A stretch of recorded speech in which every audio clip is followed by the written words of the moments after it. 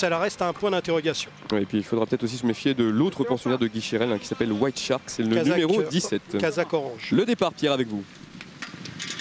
Ça y est, c'est parti, à peu près bien pour tout le monde. Il y en a certains qui sont partis moins bien que d'autres, mais visiblement les jockeys n'étaient pas pressés de partir dans les chevaux de tête. On a vu un bon départ à l'extérieur d'un cheval expérimenté, le numéro 9, King of Landor, Kazakh bleu toc bleu clair.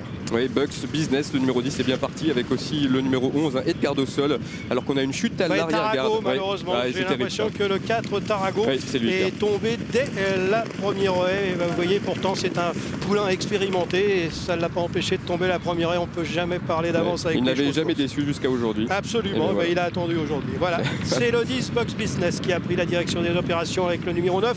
King Landor, ils vont un train régulier, 3600 mètres. En troisième position, Régis Midlin en selle sur l'un des deux représentants de Marcel Roland, le numéro 11, Edgardo Sol. L'Amego patiente avec Charles-Édouard Clayeux, il est pour l'instant 4-5e le long de la corde, euh, suivi pas très loin par euh, le numéro 2, Trampolin. Vous voyez ce très beau cheval alezan qui vient pour l'instant en 3-4e position. À l'extérieur, on note pour l'instant la présence du numéro 14, un Casabatlo, associé à Erwan euh, Chazel. On fait un point sur les chevaux qui sont à l'arrière. Pierre, il y a pour l'instant le numéro 20, Viguria, qui ferme la marche. Oui, Viguria ferme la marche et le favori Vendôme et Kazakh Adamier vert et rouge, bien placé en retrait, mais euh, Cyril Gombeau a fait exprès de lui laisser euh, bien voir ses deux premiers obstacles et maintenant il commence à se rapprocher. Vendôme a parfaitement sauté les deux premiers relais. Allez, un tour de piste à parcourir et c'est pour l'instant Jérémy Da Silva. Quel avantage en selle sur le numéro 10 Bucks Business. Le long de la corde, on retrouve toujours Régis Milin qui est très bien placé en selle sur le numéro 11 Edgardo Sol, alors qu'à l'extérieur, le numéro 9 King of Landor vient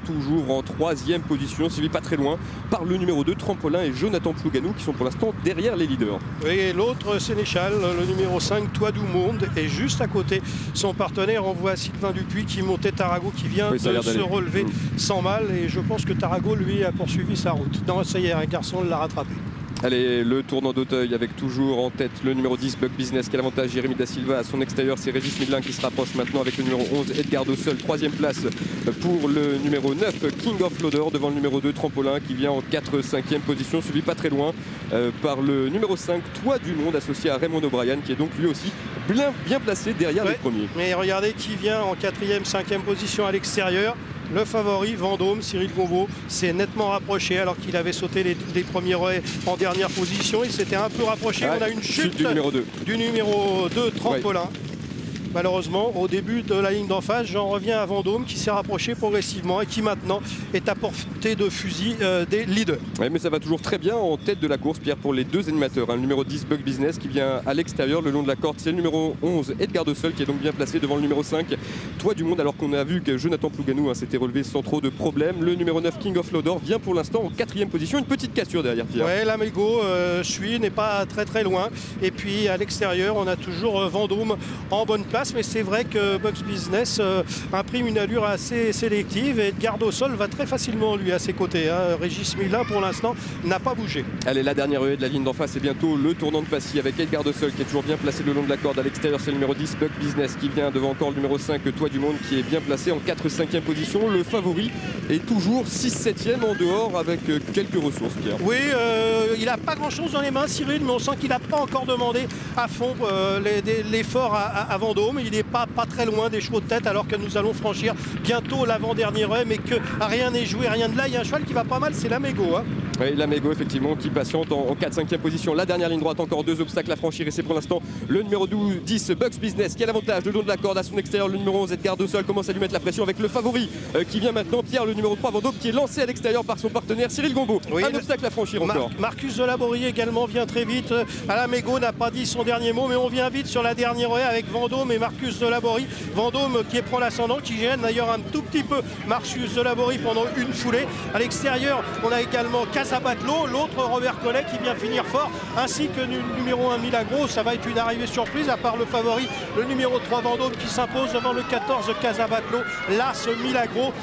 Il y a lutte hein, pour la quatrième place entre le numéro 6, Marcus Delaborie, et le numéro 9, King of Landor. À mon avis, il y aura photographie pour cette quatrième place. Et eh bien, si le numéro 3, Vendôme, s'est avéré un vrai bon cheval, comme l'avait prédit son entraîneur Guy Chérel, derrière, on a eu quand même des petites surprises. La deuxième place de Casa, euh, de Casa Batlo n'était pas forcément très attendue. La troisième place du numéro 1, El Milagro, non plus. Et puis derrière, c'est très très pointu entre le 6, Marcus Delaborie, qui est, très, qui est venu très vite euh, sur l'avant-dernier relais, et euh, le numéro 9, King of Landor, qui n'a pas quitté les premiers rangs. Regardez, ces deux chevaux passent véritablement le poteau dans la même foulée. On peut avoir peut-être, peut-être une toute petite préférence pour le numéro 6, Marcus Delaborie, mais il faut se mouiller. En tout cas, succès de ce numéro 3, Vendôme, entraîné par ouais. associé à Cyril Gombeau. On avait parlé hein, de ses performances qui étaient très prometteuses sur l'hippodrome de Pau. Il fait donc des débuts victorieux aujourd'hui à Auteuil. Pierre, j'ai le sentiment qu'on a vu là un très bon poulain. Ouais, c'est sans doute un bon cheval parce qu'on a vu que Cyril l'avait beaucoup respecté, euh, respecté, en début de parcours. Il s'est rapproché gentiment en face. Le cheval a peut-être eu un petit passage à vide dans le dernier tournant où il n'avait pas grand-chose dans les mains. Et puis lorsque Cyril Gombeau lui a demandé un véritable effort, eh bien, il est venu sur la dernière comme un gagnant potentiel. Marcus Delaborie l'a inquiété un instant et lorsque Cyril a été un peu dur avec lui à ce moment-là, Vendôme s'est véritablement détaché. Guichérel l'avait dit, hein, ce sera un cheval pour Auteuil. Et eh bien, une fois de plus, il avait raison. Il sait de quoi il parle, le jeune homme. Cyril Gombeau, vous nous entendez? Je vous entends. Oui, bonjour. Alors, première course à Auteuil, première victoire. Racontez-nous un peu notre, votre parcours. Ah, je suis bien parti. Bon, le cheval était un petit peu dans l'eau en partant, donc euh, la deuxième et la troisième, je ne l'avais pas trop devant moi. J'ai préféré le sortir, le mettre bien isolé, qu'il voyait bien ses obstacles. Faut, faut pas oublier qu'il débutait à Auteuil. Et ensuite, le cheval a pris son rythme gentiment. J'avais rien dans les mains. Et comme le, souligne euh, votre, votre interlocuteur de tout à l'heure, quand je lui ai demandé, il a vraiment fourni une belle valeur. Euh, Cyril, on a vraiment le, sentiment d'avoir vu aujourd'hui un poulain avec un, grand avenir devant lui. Est-ce que vous êtes d'accord? Ouais, on l'estime, hein, sans, sans, vous le cacher, c'est un poulain qu'on a toujours estimé. Et euh, c'est un cheval qui a besoin de prendre la maturité, qui a besoin de, se faire encore. Il est encore très immature, très bébé, comme vous l'avez vu aujourd'hui, rien dans les mains. bon, c'est vrai que la classe après elle, parle, mais c'est encore un cheval qui a beaucoup de progrès à faire. Cyril, le jockey d'obstacle est un métier très difficile, parfois dangereux, vous le connaissez parfaitement. Vous avez été blessé il y a quelques jours. On prend des, nouvelles de vous, manifestement ça va très bien maintenant. Ah, ça va très bien, c'est vous qui le dites. Hein. Non Non, j'ai le genou qui me rappelle à l'ordre de temps en temps dans la ligne droite, mais bon, ça on oublie la douleur et on est là pour gagner des courses, pour faire notre métier. Et eh bien en tout cas bravo, vous l'avez parfaitement fait aujourd'hui. On vous félicite pour cette belle victoire donc en selle sur ce numéro 3. Vendôme qui fait donc des débuts victorieux aujourd'hui à Auteuil. Tout de suite la réaction de l'entraîneur Guy Chérel avec José. Guy, on a vu un bon cheval aujourd'hui. Hein. Oui, j'étais pas tranquille parce qu'il était assez loin alors que j'avais donné les ordres de monter plus près que ça, mais je n'ai pas bien vu s'il n'avait pas été gêné en début de parcours. Euh, ou quoi. Cyril, il dit qu'il avait rien dans les mains. Ah, il avait rien dans les mains, ouais, bon bah c'est pas grave. C'est que le cheval est froid et, tant mieux. Et quand on lui appuie sur la tête, il avance, c'est le principal. En tout cas, c'est bien ce qu'il fait. Oui, hein. oui, c'est un gros nounours un peu. Il a besoin de se faire. Il débute à Hauteuil, euh, c'est pas évident avec un poids comme ça. Euh, euh, c'est un très bon cheval. Merci. Merci. Allez messieurs, je vous propose de revenir sur les temps forts de la course et surtout la déception du 4 Tarago. Bah, Tarago, oui, malheureusement, on n'a pas eu le temps de voir ce qu'il allait pouvoir faire. Il était parti un peu en retrait, on le voit ici, Tarago, et il va tomber en début de parcours. On va regarder où est euh, Vendôme en partant. Vous voyez, Cyril était bien parti, il avait monté aux ordres de Guy Chérel, et puis il va sentir que le cheval, voilà, il est un peu prudent en partant, il regarde un peu, donc il va lui laisser prendre ses esprits. On a vu Tarago chuter, donc Cyril l'a laissé prendre ses esprits à Vendôme. Quand il a senti que le cheval était un peu mieux, il l'a sorti afin qu'il voit bien ses obstacles. Quand vous vous mettez en dehors comme ça et que vous avez un cheval à grande action, c'est quand même beaucoup plus pratique pour qu'il voit ses obstacles de le mettre à l'extérieur. Et c'est ce qu'a très bien fait Cyril. Quand on a, oui, on voit la chaude de Trampolin qui allait pas mal à ce moment-là.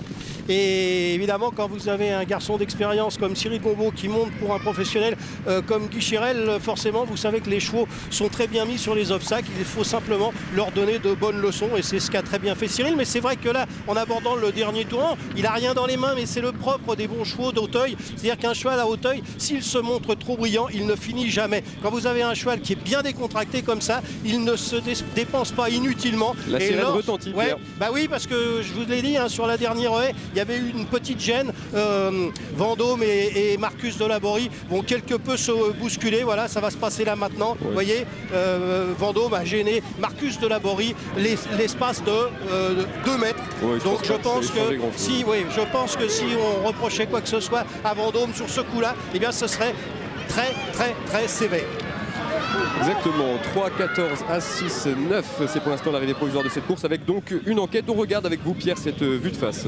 Oui absolument, donc on va voir les deux chevaux qui vont quelque peu se télescoper à la Vendôme en allant à droite, à gêner Marcus Delaborie. Alors Peut-être, peut-être que si Marcus Delaborie avait été privé de la quatrième place, puisqu'il est dans la même foulée que King of Landor, à ce moment-là, les commissaires auraient pu réfléchir en disant oui, ça lui coûte la quatrième place. Mais comme Marcus Delaborie est quatrième et qu'il n'aurait été jamais de la vie troisième, il n'y a pas de raison de changer l'arrivée.